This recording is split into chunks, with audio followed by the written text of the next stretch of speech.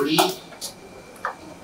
and the two others are fixed for the 30th of September, 1st of October, 2nd of October, 3rd of October.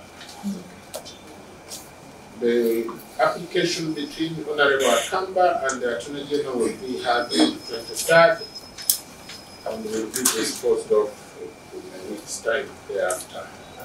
Honorable Akamba, you are remanded until 23rd of this month when you return to court uh, to listen to, I mean, to present your application and also listen to the response from the Attorney General.